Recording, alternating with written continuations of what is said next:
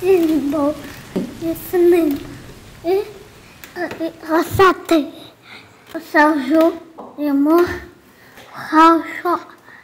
Буду радуватися дуже. Тюльпан, не сідайте, а сажайте.